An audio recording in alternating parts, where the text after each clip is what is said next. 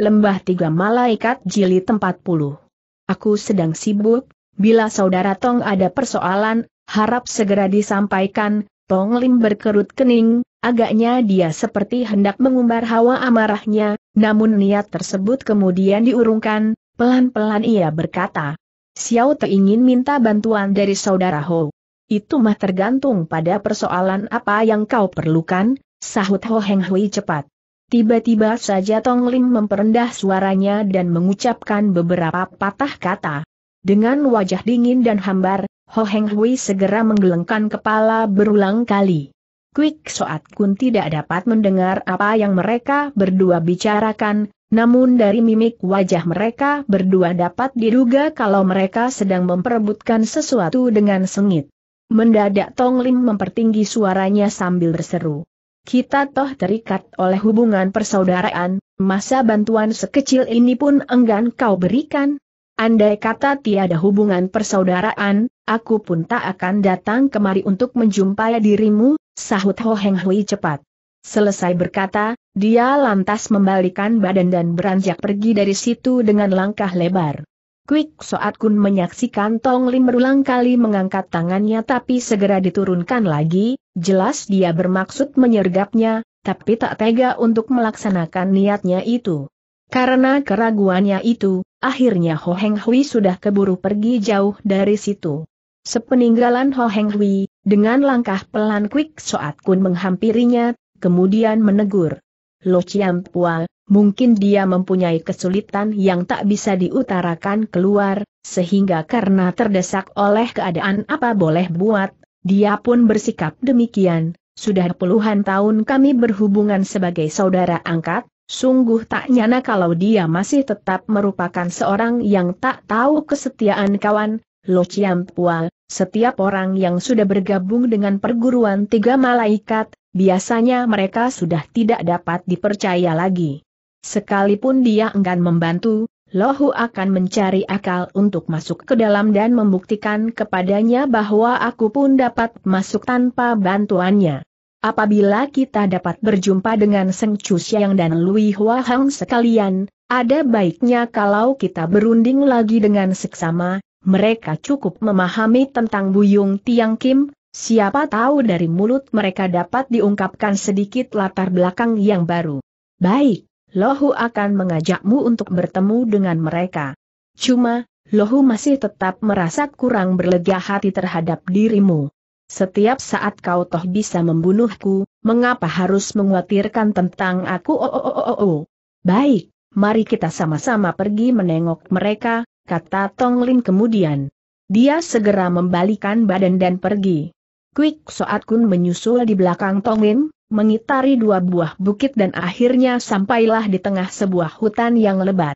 Baru saja Tong Lim hendak melepas tanda rahasia, tiba-tiba nampak bayangan manusia berkelebat, tahu-tahu seorang lelaki setengah umur berbaju hijau telah munculkan diri di hadapan mereka. Saudara Tong, sudah kau temui sahabat lamamu tegurnya. Tong Lim manggut-manggut. Bertemu sih sudah bertemu, namun dia sama sekali tak berperasaan setia kawan, lelaki setengah umur berbaju hijau tertawa hambar, katanya lagi. Saudara Tong, setiap orang yang telah bergabung dengan tiga malaikat, bagaimana mungkin masih bisa mengenali kata setia kawan atau perasaan persaudaraan lagi? Tidak usah kau pikirkan persoalan tersebut di dalam hati. Kemudian sambil mengalihkan sorot matanya ke wajah Kwik Soat Kun, dia berkata lebih jauh.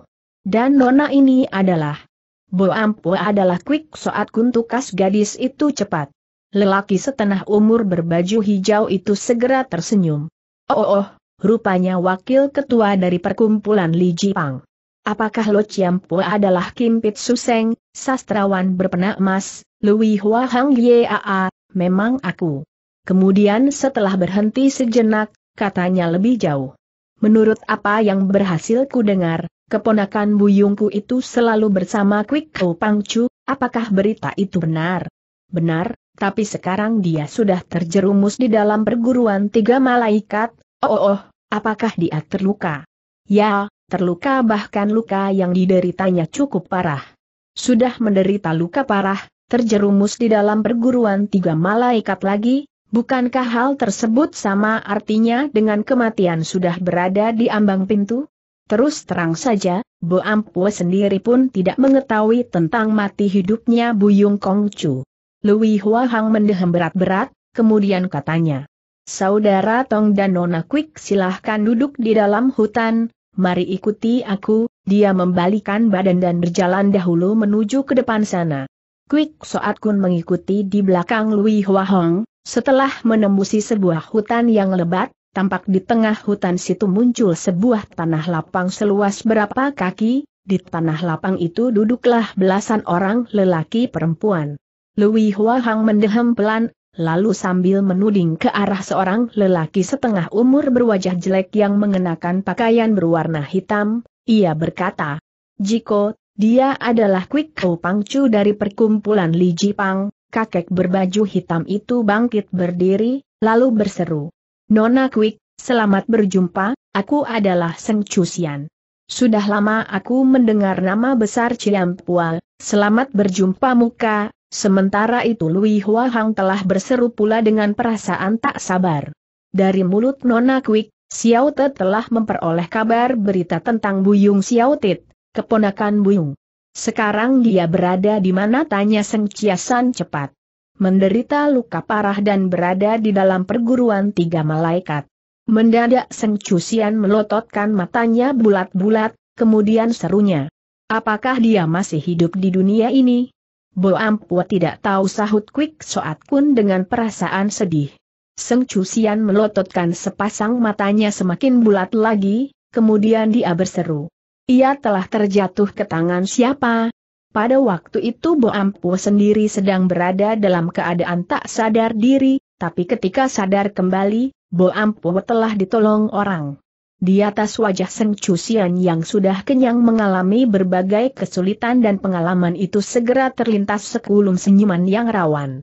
Kembali Kwik Soat Kun berkata, kalau ditinjau menurut keadaan situasi pada saat itu Bo Ampu rasa tak mungkin Buyung Kongcu dan Nona Nyo sampai menemu ajalnya di tangan lawan. Moga-moga saja Tian melindungi keselamatan jiwanya. Dalam pada itu, seorang kakek berusia 50 tahunan telah bangkit berdiri pula sembari berkata, Aku telah memeriksa keadaan di sekeliling tempat ini, di sana ada sebuah selokan yang bisa digunakan untuk menyelundup ke daerah terlarang dalam perguruan tiga malaikat. Menurut pendapatku, lebih baik kita berusaha untuk masuk ke dalam lebih dahulu. Seng Cusi yang segera mengalihkan sorot matanya ke wajah Tongin, kemudian menegur. Saudara Tong, sudah kau jumpai sahabatmu? Ya, sudah bertemu, Sungguh tak kusangka persahabatan kami selama puluhan tahun kini berubah menjadi pudar, dia telah berubah menjadi seorang manusia yang sama sekali tidak berperasaan ataupun rasa setia kawan. Seng Cus yang berpaling lagi ke arah kakek berusia 50 tahunan itu lalu berkata pula. Saudara Pau, harap tunggu sejenak lagi, kita harus berunding dulu, apabila gagal untuk menemukan care yang terbaik, Xiao Te pun ada maksud untuk maju sambil menyerempet bahaya. Orang yang berbicara adalah seorang kakek berusia 50 tahunan, dia adalah Inkau, si kaitan sakti, Pau Heng. Dengan cepat Kwik Soat Kun menggelengkan kepalanya berulang kali, katanya.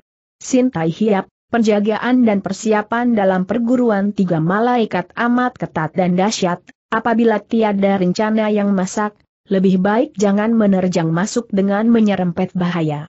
Lohu ingin sekali mengajukan satu pertanyaan kepada Nona Katseng Cusian cepat. Silahkan saja diutarakan, Bo Ampu akan mendengarkan dengan seksama. Apakah Nona percaya dengan Lohu?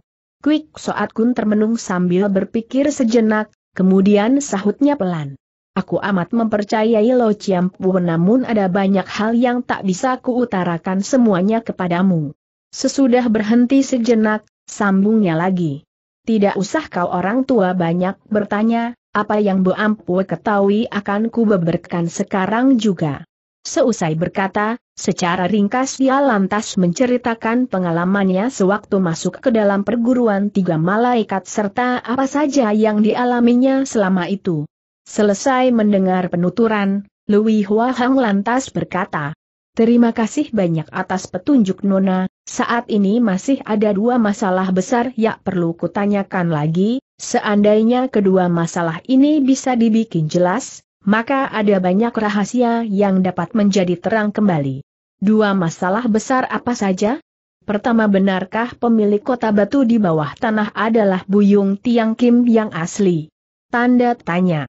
Orang yang mengutus Nona kemari, mempunyai peranan apakah di dalam perguruan tiga malaikat dan siapakah dia? Siapakah pemilik sebenarnya dari kota batu di bawah tanah? Mungkin hanya Buyung Kongcu seorang yang tahu. Menurut Bo Ampu dengar, kedudukannya dalam kota batu bawah tanah hanyalah seorang tabib.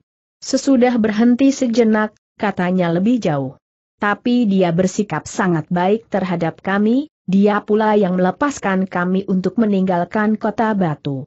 Mendadak Lui Hua Hang menimbrung. Kalau toh kedudukannya seorang tabib, mengapa pula menjadi pemimpin dalam kota batu tersebut? Ketika ia melepaskan kami pergi, telah diterangkan kepada Bo Ampu sekalian bahwa dia sengaja melepaskan kami karena memandang di atas wajah Buyung Kongcu. Pada waktu itu, kendati pun kesadaran Bo Ampu belum pulih kembali, namun ucapan tersebut telah kuingat dengan jelas sekali. Selama ini Seng Chusian hanya memusatkan pendengarannya untuk mendengarkan pembicaraan Kwik Soat Kun, pada saat itulah mendadak dia menimbrung. Nona Kwik, kau pernah bertemu dengan pemilik kota batu? Bertemu sih sudah pernah, cuma tidak cukup jelas ku perhatikan dirinya, berbeda dengan Buyung Kongcu yang sudah berkumpul cukup lama dengannya, apabila kau dapat berjumpa dengannya, sudah pasti kalian akan berhasil mengorek suatu keterangan tentang latar belakang persoalan mana secara jelas. Seng Chuxia yang menghela napas panjang, keluhnya pelan. Tapi, ke manakah kita harus mencari Buyung Kongju? Quick Soat Kun mengalihkan sorot matanya dan memandang sekejap ke arah Seng Chuxian sekalian, kemudian katanya. Bo Ampu ada beberapa patah kata ingin diutarakan, namun setelah ku ucapkan nanti, harap kalian jangan marah. Soal apa?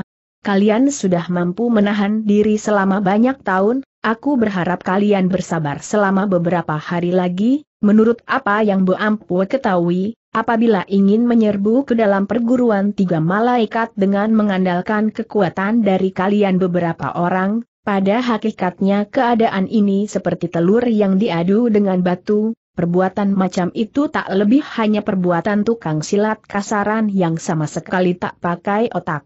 Tentang masalah ini, kami sudah cukup memahami kata Seng Chusian, tapi sekarang merupakan saat-saat yang terakhir, kelima orang saudaraku ini sudah pernah menjelajahi seluruh dunia persilatan, mereka telah menghamburkan waktu selama 20 tahun dengan harapan bisa mengundang beberapa orang pembantu, AAA. Kini, mereka yang diundang telah datang dan ternyata cuma beberapa orang saja, kecuali saudara Tong dan saudara Pau berdua yang membantu atas dasar menegakkan keadilan dan kebenaran, yang lain hampir semuanya ada sangkut pautnya dengan keluarga Buyung. Setelah menghembuskan napas panjang, lanjutnya. Aku merusak wajahku, menyimpan nama asliku dan mengasingkan diri selama 20 tahun, Sesungguhnya berharap bisa mengundang sejumlah rekan persilatan yang mau membalaskan dendam bagi Buyung Toako, paling tidak aku harus menyelidiki sampai tuntas siapakah pembunuh serta musuh besar yang telah menyerang perkampungan keluarga Buyung waktu itu, aku harus menunggu hampir 20 tahun lamanya, namun hingga kini harapanku tersebut belum juga dapat terwujud, Tampaknya sekalian harus menanti 20 tahun lagi pun belum tentu bisa membalaskan dendam bagi Buyung Toako, maka dari itulah mumpung sekarang aku belum kelewat tua, aku ingin memasuki markas besar perguruan tiga malaikat serta menyelidiki persoalan ini sampai tuntas kendati pun selembar nyawaku harus dikorbankan, aku pun tak akan merasa sayang atau menyesal. Berbicara menurut situasi dalam dunia persilatan dewasa ini, agaknya peristiwa misterius yang terjadi puluhan tahun berselang hampir semuanya bersumber dari perguruan tiga malaikat ini kata Kwik Soat Kun pelan, Budi dan dendam Buyung Tai Hiap. Kemungkinan juga dapat diketahui latar belakangnya dari dalam perguruan tiga malaikat ini, namun perguruan tiga malaikat diliputi kemisteriusan, sekalipun anggota tiga malaikat sendiri pun belum tentu mengetahui persoalan ini dengan jelas.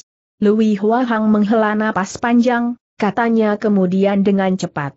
Perkataan Nona memang benar tapi kami pun tak punya kesabaran untuk menanti lebih jauh, berkelana dan menanti selama 20 tahunan sudah merupakan suatu siksaan lahir batin, suatu penderitaan yang jauh melebihi kematian. Maksud Bo Ampua, bukanlah ingin mencegah kalian untuk memasuki perguruan tiga malaikat dengan pertaruhan jiwa. Mendadak terdengar Tong Lim membentak keras. Siapa di situ? Ketika sepasang tangannya digerakkan, dua ekor ular merah segera menyambar ke muka dengan cepat. Lui Huahang mencabut keluar sebatang pedang emas sambil bersiap sedia untuk menerjang ke muka, mendadak terdengar desingan angin tajam menyambar lewat, kenkergan tembaga yang besar bagaikan rembulan sudah menyambar ke depan lebih duluan. Di mana kenkerengan tembaga itu menyambar lewat, daun dan ranting berguguran jatuh. Quick Soat pun segera berpaling, dia menyaksikan orang yang melepaskan serangan tersebut berusia 50 tahunan, mengenakan berwarna abu-abu, berkaki kiri pincang, tinggal memiliki lengan sebelah kanan, dia adalah Kyoji Taisu. Begitu kenkerengan pertama menyambar lewat, Kyoji Taisu sudah mempersiapkan kenkerengan kedua dalam genggamannya. Seng Chusian juga mencabut keluar pedangnya yang tersorong di punggung, sementara muda-mudi yang duduk di tanah lapang juga mempersiapkan senjatanya masing-masing. Semua peristiwa itu berlangsung dalam sekejap mata, suasana di sekeliling tempat itu pun berubah menjadi sangat tegang, setiap orang telah memusatkan pikiran dan kekuatannya untuk menghadapi serangan musuh. Quick Soat Kun yang sudah berulang kali menjumpai mara bahaya, kini malahan bersikap paling tenang, dengan sorot mata yang tajam dia mengawasi sekejap tempat itu. Tampak daun-daun ranting bergelombang, senjata kenkerengan maut yang meluncur ke depan tadi mendadak meluncur kembali dengan cepat. Kyoji Taisu mengayunkan lengan tunggalnya untuk melemparkan kenkerengan terbang yang berada di tangannya, kemudian menyambut datangan kenkerengan yang meluncur balik itu. Quick Soat Kun yang menyaksikan kejadian tersebut segera berpikir dalam hati kecilnya. Ternyata dia mampu menggunakan tenaga putaran untuk menarik kembali senjata kenkerengan lawan, kepandaian semacam ini benar-benar luar biasa dan belum pernah kujumpai sebelumnya dalam dunia persilatan. Sementara dia masih berpikir, terdengar suara lambat dan merdu telah berkumandang. Harap saudara sekalian suka menghentikan serangan dulu. Suaranya yang lembut, indah dan merdu itu mendatangkan perasaan segar bagi yang mendengarnya. Begitu suara tersebut berkumandang, Quick Soat Kun sudah mengenalnya sebagai suara Nyool Hang Leng, kontan saja hatinya bergetar keras serunya tanpa terasa. Nona Nyool. Nona Nyool yang mana Seng Chusian segera bertanya. Nyool Hang Leng, Nona Nyo. Belum habis dia berkata, senjata kerengan terbang yang dilepaskan Kyoji Taisu itu sudah meluncur kembali ke tangannya. Dengan cepat Kyoji Taisu menyimpan kerengan tembaga yang berada di tangannya itu ke dalam saku, kemudian tangan kanannya menyambar ke muka dan menangkap kembali kerengan tembaganya yang baru meluncur balik. Walaupun dia seorang manusia cacat yang berlengan tunggal dan berkaki pincang, namun permainan senjata kerengan tembaganya benar-benar hebat dan cekatan. Di saat Kyoji Taisu menerima kembali senjata kenkerengannya itu, seorang gadis berambut panjang dan bertangan kosong telah muncul di situ dengan langkah pelan. Ah ah ah, Nona Nyo, rupanya memang kau, seru Quick Soat Kun dengan perasaan cemas. Buru-buru dia maju ke depan untuk menyongsong kedatangannya. Pada bagian dada Nyo Hang Leng masih mengenakan kain pembalut hitam, lengan kirinya masih terkulai lemas ke bawah, sudah jelas luka parah yang dideritanya belum sembuh kembali. Setelah merasakan luka parah sekali ini tampaknya sifatnya Oh Hang Leng juga turut berubah menjadi ramah dan halus, dia memandang sekejap beberapa orang itu sambil tersenyum. Kemudian katanya, ular siapakah itu? Selama hidup belum pernah si Dewa Ular Tong Lim menyaksikan gadis berparas begini cantik, kendati pun dadanya sedang dibalut sehingga tak dapat menyaksikan potongan badan yang ramping, namun hal tersebut sama sekali tidak mempengaruhi kecantikan parasnya yang luar biasa bak bidadari dari kahyangan itu. Sesudah tertegun sejenak katanya kemudian, ular itu milikku, apakah sudah melukai nona jawab si Dewa Ular Tong Lim. Oh, oh, oh tidak, ia tidak melukaiku, aku pun tidak melukainya, aku hanya menotok jalan darah di tubuhnya. Sekali lagi si Dewa Ular Tong Lim tertegun. Sudah banyak tahun lohu bermain ular, belum pernah ku ketahui kalau ular pun mempunyai jalan darah, jawab Tong Lim. Nyo Hang Leng segera tersenyum manis. Maaf, aku tidak mengetahui apa namanya mungkin seharusnya dinamakan sumsum -sum di tulang. Berbicara sampai di situ, dia lantas mengalihkan sorot matanya ke wajah Kwik Soat Kun, kemudian sapanya, Cici, sungguh tidak mudah kita dapat saling berjumpa kembali kau tak akan mati, bila orang yang begini cantik seperti kau harus mati, Tian pun akan ikut menangis sedih, seru Kwik Soat Kun dengan penuh perasaan haru. Nyo Hang Ling tertawa, kemudian katanya, Cici tak usah memuji diriku. Nilai hidup seseorang di dunia ini sama sekali tak ada hubungannya dengan soal cantik atau tidaknya paras muka seseorang. Kemudian sambil berpaling ke arah Seng Cusian, katanya lagi. Seng Lo Pua, masih ingat kepadaku? Nona Nyo, Nyo Hang Leng, siapa saja yang pernah berjumpa muka denganmu, tak nanti mereka akan melupakannya. Mendengar ucapan tersebut, Nyo Hang Leng segera menghela napas panjang. Aaai, Lo Pua, aku mempunyai dua masalah besar yang tidak habis kupahami, bolehkah ku minta penjelasan dari kalian berdua? Katakan saja nona kata Seng Cusian. Sesungguhnya Buyung Tiang Kim Tai Hiap mempunyai putra atau tidak? Seng Cusian tertegun oleh pertanyaan tersebut, sahutnya setelah hening beberapa saat. Tentu saja ada nona, Bukankah kau kenal sekali dengan Buyung Kongcu tanyanya?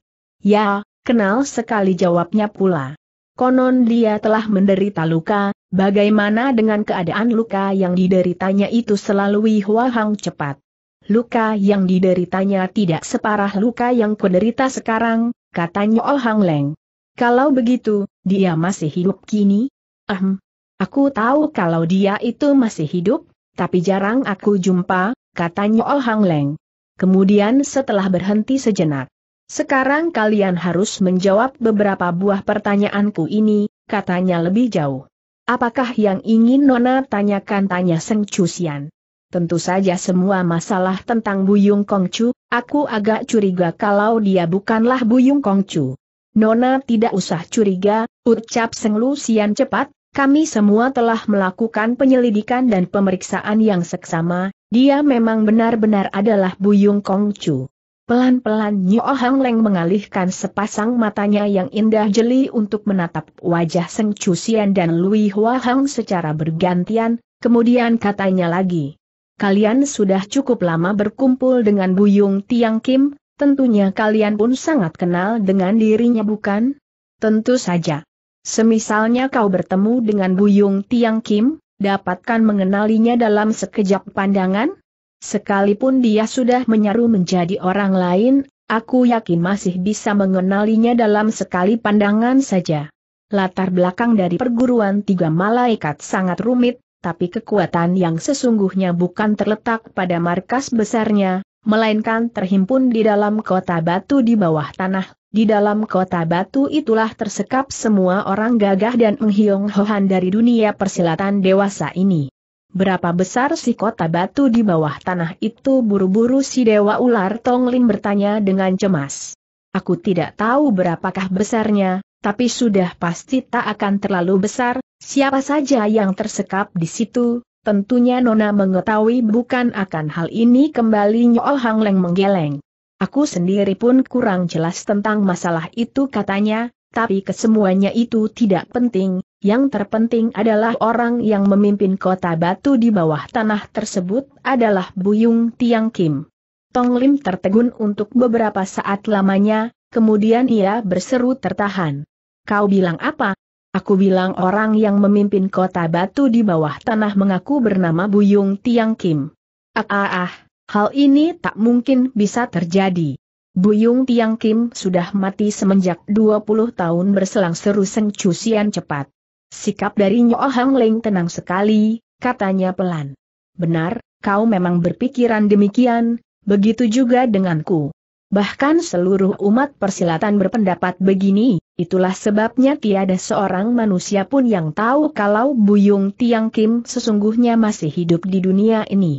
Soal ini, soal ini, rasanya seperti ada orang mengigau saja, bisik Seng Cusian kebingungan. Bukankah kalian ingin bertemu dengannya di manakah dia sekarang?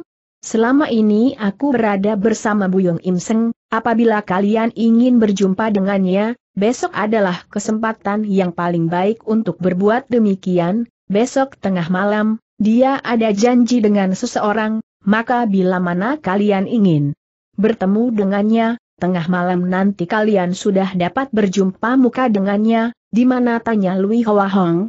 Nyo Hang Leng memandang sekejap sekeliling tempat itu, kemudian sahutnya. Aku tak bisa mengatakannya kepada kalian tempat itu bernama apa, tapi aku mengetahui letak tempat tersebut, dan aku sudah seharusnya banyak bicara dengan kalian, sayang sekali aku tidak mempunyai waktu banyak berbicara dengan kalian, sayang sekali aku tidak mempunyai waktu banyak untuk berbuat demikian. Nona masih ada urusan apa tanya Quick Soat Kun. Nyo Hang Leng segera manggut-manggut.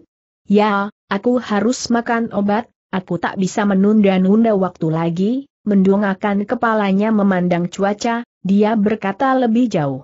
Bila mana kalian ingin bekerja sama secara jujur dan bersungguh-sungguh denganku, maka kalian harus berbicara secara jujur pula, di saat matahari hendak terbenam nanti aku akan datang menjenguk kalian lagi, Moga-moga saja pada waktu itu kalian dapat memberitahukan perkataan yang sejujurnya kepadaku. Selesai berkata dia membalikan badan dan beranjak pergi dari tempat itu. Tetapi baru berjalan sejauh berapa puluh langkah, dia berhenti dan berkata lagi. Walaupun tempat ini masih belum termasuk sebagai daerah terlarang bagi perguruan tiga malaikat, tapi mereka selalu melakukan pengontrolan dan perondaan seksama sekali di sekitar tempat ini, terutama pada tengah hari, lebih baik kalian sembunyi saja sembunyi di mana Quick Soat Kun. Sembunyi di semak belukar yang lebat. Dengan menggunakan care apakah mereka melakukan perondaan di sekitar tempat ini kemungkinan besar menggunakan burung. Burung? Benar, burung yang nampak terlatih baik ketajaman matanya, oleh sebab itu kalian harus bersembunyi di suatu tempat yang amat tertutup dan berusaha keras untuk meloloskan diri dari pengintaian sepasang mata burung tersebut. Mendadak dia memegangi dada sendiri sambil berkerut kening, agaknya dia sedang berusaha keras untuk menahan suatu penderitaan yang luar biasa sekali. Tanpa banyak bicara lagi, dia membalikan badan dan segera berlalu dari situ. Walaupun berada dalam penderitaan dan kesakitan, ternyata gadis itu masih menunjukkan suatu daya tarik yang memukau, membuat orang-orang yang hadir di situ menjadi tidak tega untuk banyak bertanya lagi kepada dirinya. Menanti bayangan punggung dari Nyo Hang Leng sudah lenyap dari pandangan mata, Quick Soat Kun baru membalikan badannya dan memandang sekejap ke wajah kawanan jago persilatan tersebut, kemudian pelan-pelan dia berkata, Seng Lo Pua, kalian boleh berlega hati. Bila Nyo Hang Leng belum mati, itu berarti Buyung Im Seng tak bakal mati. Pertanyaan yang diajukan Nyo Hang Leng secara tiba-tiba tentang asal-usul Buyung Im Seng serta berita tentang masih hidupnya Buyung Tiang Kim di dunia ini, dengan cepat menimbulkan kerisauan di hati kawanan jago persilatan tersebut. Sebab dengan diajukannya persoalan tersebut secara tiba-tiba, hal ini berarti kalau di balik kejadian tersebut masih terdapat masalahnya, kalau tidak, mustahil Nyo Leng akan muncul di situ dan berniat untuk mengajukan persoalan itu saja. Seng Cusian berpaling sambil memandang sekejap ke arah Kyoji Taisu, kemudian katanya. Xiao Te, sejak kapan kau meninggalkan Toako? Kisah pertolonganku untuk membantu Buyung Hiantit sudah kuceritakan dengan jelas kepadamu. Tentu saja aku berpisah dengan Toako setelah ia tertimpa musibah, maksudku tentang putra Toako itu, seingatku agaknya belum pernah ku dengar tentang kejadian ini sambung Seng Cusian lagi. Kyoji Taisu segera berkerut kening, katanya. Soal ini, soal ini, aku sendiri pun tak bisa mengingatnya kembali. Sewaktu Toako tertimpa musibah, kami sudah hampir setahun lebih meninggalkan dirinya, dalam setahun lebih, memang bukan mustahil seseorang untuk memperoleh seorang putra, kata Lui Hua Hong. Perselisihan kalian benar-benar aneh sekali timbrung Kwik Soat Kun tiba-tiba, seandainya Buyung Tai Hiap mempunyai istri tentu saja kemungkinan besar akan berputra, sebaliknya jika dia tidak beristri. Berbicara sampai di situ, mendadak dia menutup mulutnya rapat-rapat. Lui Hua Hang segera berkata, Buyung Tai Hiap sudah pernah merasakan pahitnya berumah tangga, oleh karena itu dia tidak pernah mencari istri lagi. Apabila dia tidak beristri, tentu saja tak mungkin bisa berputra, kata Kwik Soat Kun lagi. Mendadak si Dewa Ular Tong Lim berkata dengan suara dingin. Kau si bocah perempuan tahu apa? Bila seseorang tidak beristri, apakah dia lantas tak bisa berputra? Seng Cusian, Kiuji Taisu dan Lui Hua Hang saling berpandangan sekejap, kemudian sama-sama membungkam dalam seribu bahasa. Kwik Soat Kun pun seolah-olah menyadari akan sesuatu, dia memandang sekejap ke arah Seng Cusiang, lalu katanya. Kalau begitu Buyung Kongcu adalah anak haram? Paras muka Seng Cusian berubah menjadi amat serius, Pelan-pelan dia berkata, Nona, hingga kini persoalan belum dibuktikan semua, jadi maaf apabila aku tak bisa memberi keterangan apa-apa kepadamu. Quick Soat Kun menghela napas panjang. Aaai, kalau begitu kalian boleh memikirkan persoalan ini secara pelan-pelan. Sebelum Nona Nyo datang kemari, semoga saja kalian bertiga sudah dapat menemukan suatu kesimpulan atau paling tidak kalian harus bisa mengungkap dari segala hal ihwal yang ada sangkut pautnya dengan asal-usul Buyung Kongcu secara jelas. Tentu saja kami akan merundingkan persoalan ini secara baik-baik, tak usah Nona risaukan, kata Seng Cusian. Quick Soat Kun mendongakkan kepalanya sambil memandang cuaca, katanya kemudian. Menurut Nona Nyo, di tempat ini terdapat burung yang melakukan perondaan, ini berarti apa yang diucapkan tak berakal salah lagi. Lebih baik kalian menyembunyikan diri lebih dahulu, menggunakan kesempatan tersebut kalian pun dapat menghimpun kembali tenaganya sambil menjaga kondisi badan. Selesai berkata, tanpa menggubrik beberapa orang itu lagi, dia menerobos masuk lebih dahulu ke balik semak belukar tersebut. Tampaknya semua orang yang hadir di situ pada mempercayai peringatan dari Nyol Hang Leng, tanpa membantah mereka pun bersama-sama masuk ke balik semak belukar untuk menyembunyikan diri. Selama beberapa hari belakangan ini, Quick Soat Kun selalu mengerahkan segenap tenaga yang dimilikinya untuk menempuh perjalanan jauh, selama ini pula ia selalu diliputi oleh perasaan tegang dan serius. Maka begitu pikiran dan perasaannya mengendor sekarang, rasa lelah dan mengantuk segera menyerangnya, tanpa disadari dia sudah terlelap tidur dengan nyenyaknya. Entah berapa lama sudah lewat, ketika mendusin dari tidurnya, nampak matahari sudah turun di balik bukit, senja pun menjelang tiba. Buru-buru dia melompat bangun dan berjalan keluar dari balik semak belukar tersebut. Waktu itu Seng Cusian, si Dewa Ular Tongin, Kiuji Taisu, Lui Hua Hang dan si Kaitan Sakti Pao Heng sedang duduk berkumpul sambil mendahar langsung kering yang dibawa. Sementara orang yang lain pun sedang duduk sambil bersantap.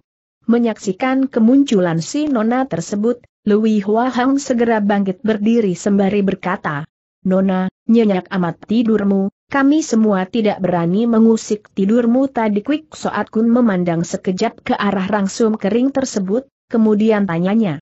Apakah Nona Nyo sudah datang? Apabila Nona Nyo memegang janji, dia sudah seharusnya muncul di sini, silahkan Nona bersantap dahulu untuk menjaga kondisi badan. Dalam keadaan dan tempat seperti ini, Setiap saat mungkin kita akan melangsungkan pertarungan sengit melawan musuh. Pelan-pelan Quick Soat Kun duduk di atas tanah dan mengambil rangsum kering untuk mengisi perut.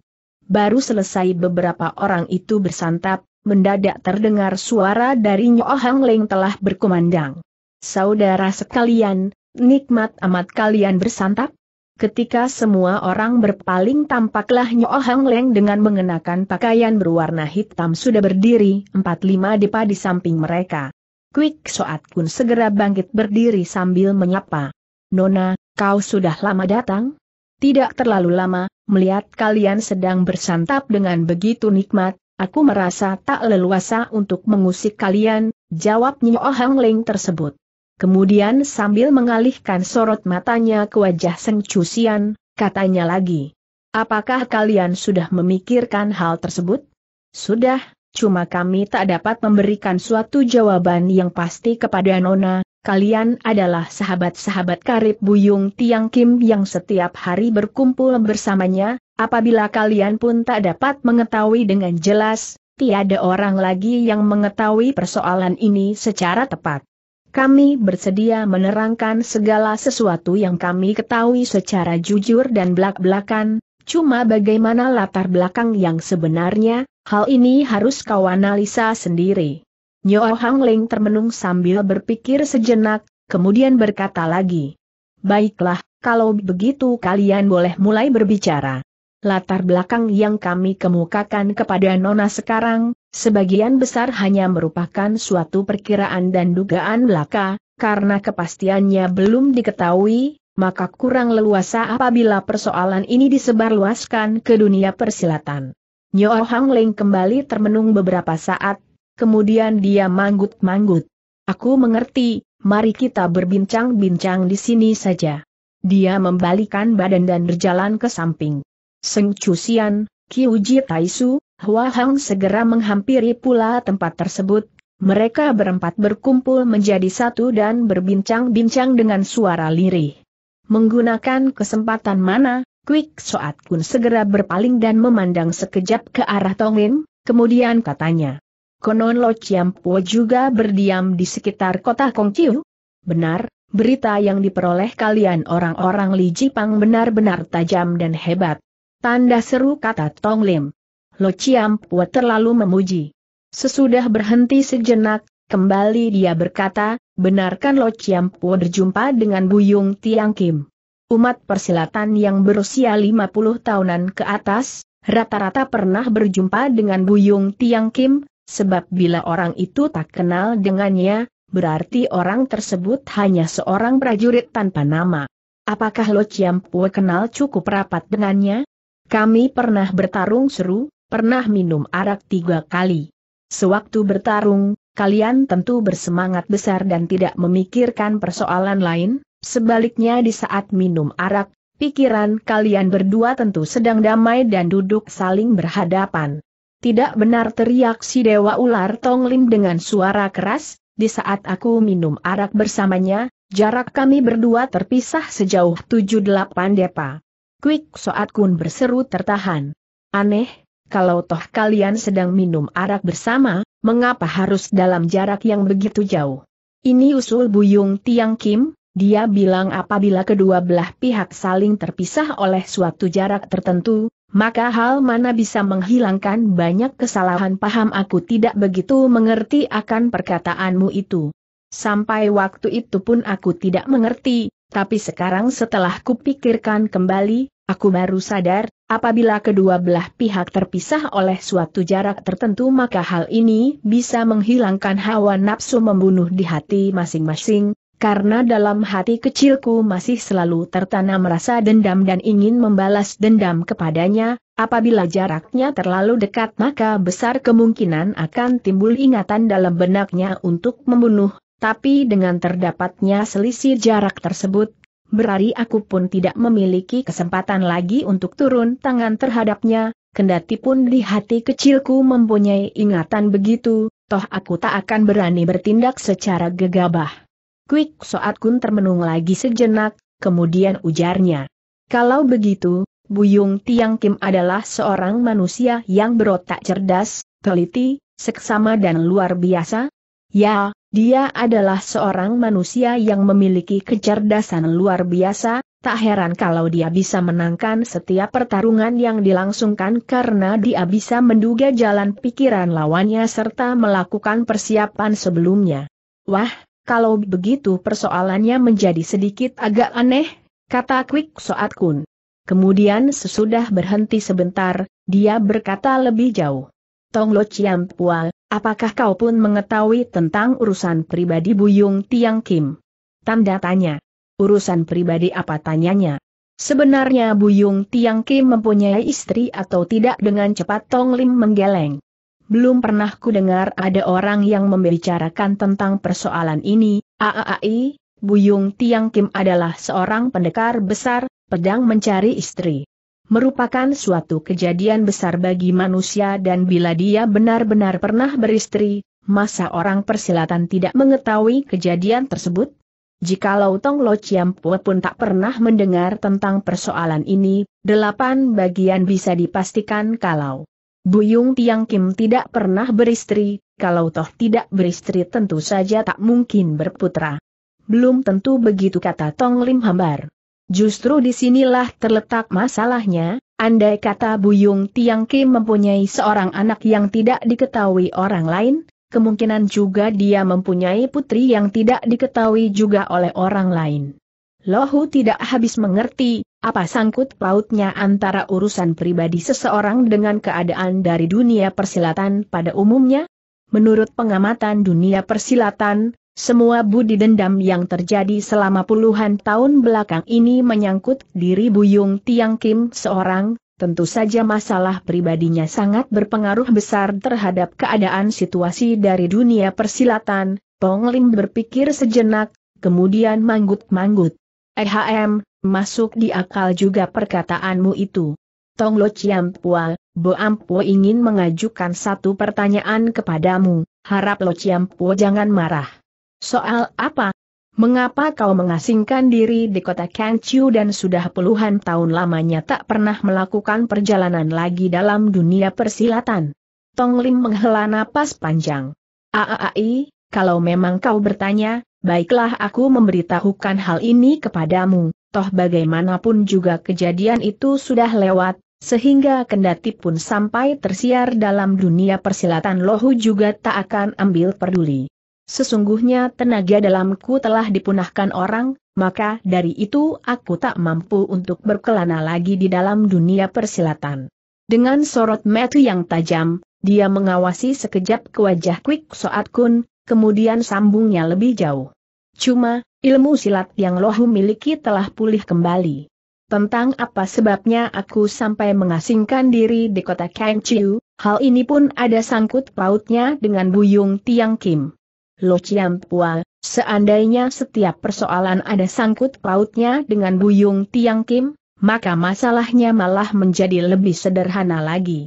Menurut pengamatanku selama berbulan-bulan, apa yang kulihat, apa yang kudengar dan apa yang kualami sudah cukup banyak tapi persoalan tersebut tercecer menjadi masalah-masalah terpisah yang tak mampu ku tembusi dan kukaitkan satu sama lainnya, tapi yang pasti semua masalah tersebut ada sangkut pautnya dengan Buyung Tiang Kim, dia mati dengan jenazah yang untuk hidup dengan tubuh yang lengkap, apakah hidup atau mati hingga kini merupakan suatu teka-teki yang tak terjawabkan, tapi dari sekian banyak kejadian justru telah meninggalkan banyak sekali titik-titik terang dan jejak yang dapat kita telusuri.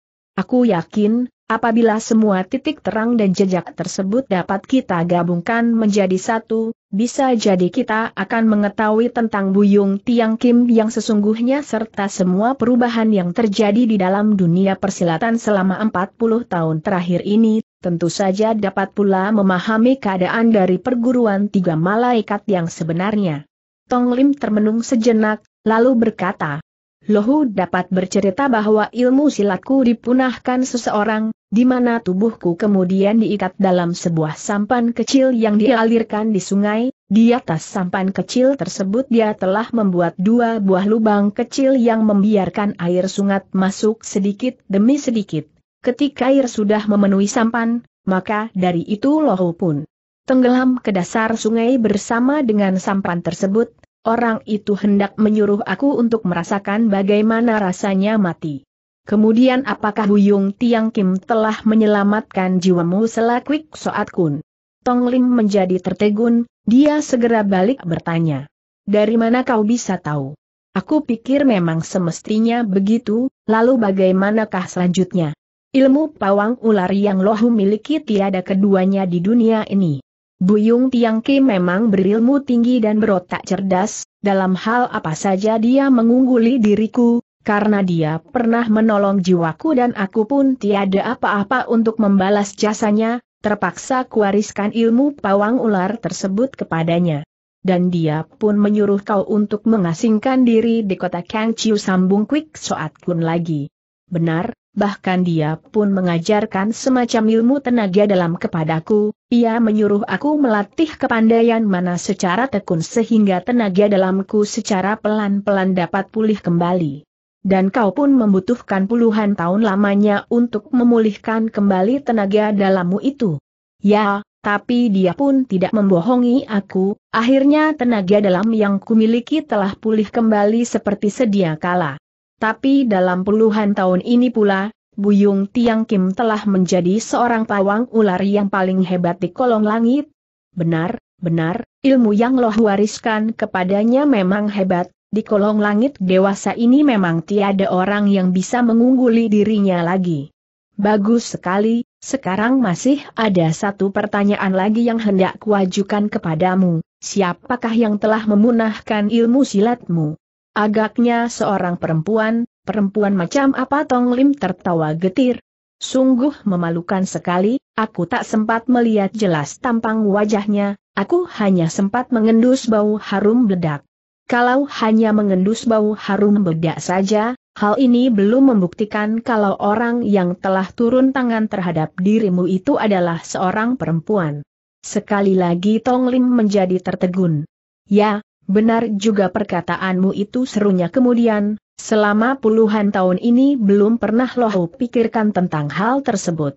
Sesudah berhenti sejenak katanya lebih jauh. Asal Buyung Tiangki menggosokkan pupur di atas pasang tangannya, dia memang sudah cukup membuatku bingung dan tidak habis mengerti. Quick Soat Kun menghembuskan napas panjang. Orang itu belum tentu Buyung Tiang Kim sendiri, tapi paling tidak pasti ada sangkut pautnya dengan dia. Kalau ku dengar dari nada pembicaraan Nona Quick, Tampaknya kau menaruh curiga kalau semua yang terdapat di perguruan tiga malaikat dan kota batu di bawah tanah merupakan hasil karya dari Buyung Tiang Kim seorang? Satu-satunya persoalan yang tidak bisa dipecahkan sekarang adalah tentang sesosok mayat tersebut, kata Kwik Soat Kun. Mendadak terdengar seseorang menanggapi dengan suara yang merdu dan halus. Soal itu pun bukan suatu masalah yang terlalu pelik, Asalkan dapat menyelidiki segala sesuatu tentang masa lalu Buyung Tiang Kim, maka tidak sulit untuk menyingkap semua teka-teki yang telah menyelimuti dunia persilatan selama puluhan tahun ini. Ketika mereka berdua berpaling, tampaklah Nyo Hang Leng sedang berjalan mendekat dengan langkah pelan. Tong Lim memandang sekejap ke Nyo Hang Leng, kemudian menundukkan kepalanya rendah-rendah, katanya. Menurut pendapat Lohau, kalian berdua masih muda, belum tentu hal ini sesuai dengan kenyataan. Selama ini kalian hanya berusaha keras untuk menyelidiki masa lalu dari Buyung Tiang Kim, sekalipun kalian berdua berhasil menyelidikinya, lalu apa pula yang bisa dilakukan? Lohau sudah dapat menemukan latar belakangnya, dan aku rasa tindakan kita berhimpun di sini untuk melawan perguruan tiga malaikat, Hal ini ibaratnya belalang ingin menahan angin kereta, sekalipun kita himpun jago lihai dari seluruh kolong langit pun belum tentu mampu untuk bertarung melawan orang-orang tiga malaikat. Tampaknya takdir telah menentukan demikian dan badai besar harus melanda dunia persilatan, tak nanti dengan kekuatan kita beberapa orang bisa melenyapkan suratan takdir tersebut. Menurut pendapat Lohau, lebih baik kita hidup mengasingkan diri saja secara terpisah, dengan begitu, kita masih bisa hidup senang selama beberapa tahun lagi, maaf bila Lohu harus mohon diri lebih dulu. Tunggu dulu ujarnya Oh Hang Leng sambil menggeleng, apabila kau ingin melarikan diri maka hal ini justru akan mempercepat proses kematianmu sendiri. Mendengar ucapan mana, Tong Lim segera tertawa terbahak-bahak. Haaah, haaah, haaah, kenapa? Apakah Nona bermaksud untuk menghalangi kepergianku? Apabila aku yang turun tangan menghalangimu, sudah pasti kau tak akan berhasil meloloskan diri dari sini, sekalipun aku tidak turun tangan menghalangimu, kau juga tak akan berhasil untuk meloloskan diri dari pengejaran orang-orang tiga malaikat. Tong Lim tertegun. Nona mempunyai pendapat apa serunya? Saat ini hanya tersedia saru jalan saja yakni kerjasama antara kau dengan kami, kecuali itu, tiada pilihan lagi yang bisa kau ambil. Nona, Walaupun aku orang Shitong juga bukan anak ayam yang baru terjun ke dunia persilatan, untuk melarikan diri kita masih tersedia setitik harapan untuk hidup, sebaliknya bila melawan kekuatan perguruan tiga malaikat sama artinya dengan mencari kematian untuk diri sendiri. Tong Lo Pua, apabila kau beranggapan bahwa kami sangat membutuhkan bantuanmu, maka hal ini merupakan kesalahan paham yang sangat besar, kalau begitu, Nona bersedia untuk melepaskan aku pergi dari tempat ini? Aku tak pernah berkata kalau akan turun tangan menghalangimu, asalkan kau bersedia mengurungkan niatmu sebentar, ada beberapa patah kata hendak ku sampaikan padamu. Baik, Nona boleh berbicara. Aku ingin mengajukan satu pertanyaan kepadamu, kau bilang belum sampai dirobohkan, sebenarnya apa maksudmu? Seandainya ilmu silat yang kita miliki bisa mengungguli orang-orang perguruan tiga malaikat maka kita bisa secara langsung melakukan serbuan dan mendobrak kota batu tersebut, bahkan sekaligus kita bekuk pentolan dari perguruan tiga malaikat dan menyiksanya agar berbicara, tentu saja mereka akan mengungkapkan latar belakang yang sebenarnya waktu itu, bukankah semua persoalan akan menjadi terang dengan sendirinya? Tanda tanya. Nyo Hang Leng segera tersenyum. Sekarang, kita sudah mempunyai care untuk menghadapi orang-orang perguruan tiga malaikat. Bagus sekali, Lohu akan mendengarkan penjelasan dari Nona tersebut, entah jagoan lihai dari mana saja yang berhasil kau undang datang untuk membantu pihakmu. Banyak sekali jago persilatan yang berilmu tinggi, sebenarnya mereka adalah anggota dari perguruan tiga malaikat, tapi saat ini sudah dapat peralat. Dapatkah Nona menyebutkan nama-nama dari mereka? Nyo Hang Leng mendongakkan kepalanya memandang keadaan cuaca, lalu ujarnya. Bilang baik bila kau turut menyaksikan pertempuran yang bakal berlangsung malam nanti, mungkin kau akan berhasil pula menemukan sedikit latar belakang yang sebenarnya, bila saat itu kau masih ada hal-hal yang tak jelas, belum terlambat bagi kita untuk berbincang-bincang lebih jauh. Tong Lim melihat pula cuaca, lalu menyaut. Benar, saatnya sudah hampir tiba, jauhkah tempat tersebut dari sini? Jauhnya sih tidak, cuma kita harus pergi lebih awal untuk menyembunyikan diri di situ, setelah menyembunyikan diri kita baru bisa menghindari segala hal yang tak diinginkan terutama diintip orang lain. Tampaknya hatiku sudah berhasil nona taklukan.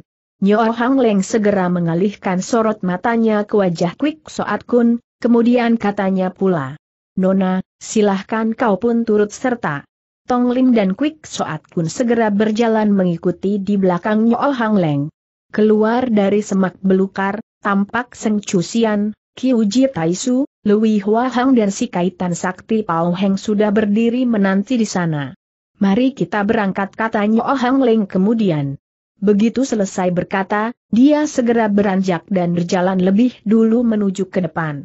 Mungkin sikap dari Seng Chusian dan Kiu Jitaisu sekalian yang begitu keren dan serius, membuat Kwik Soat Kun serta Tong Lim turut berubah menjadi serius pula. Berenam mereka berangkat beriring menuju ke tengah sebuah hutan yang lebat.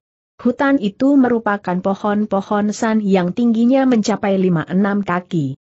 Nyo Hang Leng langsung berjalan masuk ke hutan dan menuju ke sebuah tanah lapang di situ, kemudian katanya. Harap kalian memilih sebuah pohon untuk menyembunyikan diri, Cuma tempat yang kalian pilih harus bisa menyaksikan semua kejadian di sekitar tanah lapang ini, jangan memilih yang terlalu dekat, dengan begitu bisa terhindar dari luka akibat hawa pedang. Tapi kalian pun harus ingat akan satu hal, barang siapa ketahuan jejaknya lebih dahulu, dia pasti akan mati, sebab aku sendiri pun tidak berdaya untuk menyelamatkan jiwanya, Tong Lim yang mendengar perkataan tersebut menjadi curiga, baru saja dia akan buka suara untuk mengajukan pertanyaan, tiba-tiba dilihatnya Seng Cusian sekalian berlima sudah memilih tempat masing-masing untuk menyembunyikan diri. Dalam keadaan demikian, terpaksa dia harus menahan rasa curiga dan ingin tahunya, setelah memilih sebatang pohon yang besar, dia pun merambat naik ke puncaknya untuk menyembunyikan diri. Menyaksikan beberapa orang itu sudah menyembunyikan dirinya, Nyo Hang Leng baru menyembunyikan diri pula di atas sebatang pohon. Waktu itu kentongan kedua sudah lewat, awan mendung menyelimuti seluruh angkasa dan menutupi cahaya bintang maupun rembulan. Satu kentongan sudah lewat, namun suasana di situ masih tetap hening dan tak kedengaran sedikit suara pun. Tong Lim mulai merasa tak sabar, baru saja dia hendak membuka mulut untuk bertanya, mendadak tampak cahaya api berkelebat lewat disusul munculnya sebuah obor. Entah sejak kapan, di tengah tanah lapang dikelilingi hutan yang lebat itu sudah bermunculan belasan orang lelaki berpakaian ringkas warna hitam. Si Dewa Ular Tong Lim baru terperanjat sesudah menyaksikan kejadian tersebut segera pikirnya. Kedatangan beberapa orang ini tidak menimbulkan sedikit suara pun sudah jelas kalau ilmu meringankan tubuh yang mereka miliki telah mencapai puncak kesempurnaan, sementara itu, belasan orang lelaki berbaju hitam tadi sudah menyulut obor yang mereka bawa dan ditancapkan di sekeliling tanah lapang tersebut sehingga membentuk sebuah lingkaran kecil seluas 4-5 kaki. Obor tersebut terbuat dari bambu yang diberi minyak cemara, daya bakarnya sangat kuat dan lidah apinya mencapai berapa depa, suasana di sekitar tanah lapang pun menjadi terang benderang bermandikan cahaya api itu. Belasan orang lelaki berbaju hitam itu segera mengundurkan diri ke dalam hutan begitu selesai menancapkan obor di tengah lapangan, kemudian menyembunyikan diri di belakang pohon. Kini, di tengah tanah lapang yang luas hanya nampak belasan batang obor saja, kecuali itu tak nampak sesosok bayangan manusia pun yang berada di sana. Tong Lim segera merasa kalau cahaya api tersebut terlalu tajam sehingga memenuhi dedaunan yang lebat dan menyoroti di atas tubuhnya, tempat persembunyian yang dipilihnya itu terasa terlampau dekat dengan lapangan tersebut tapi sayang keadaan situasi sudah tak mengizinkan baginya untuk menggeserkan badannya lagi, oleh sebab itu terpaksa dia hanya berdiam diri belaka.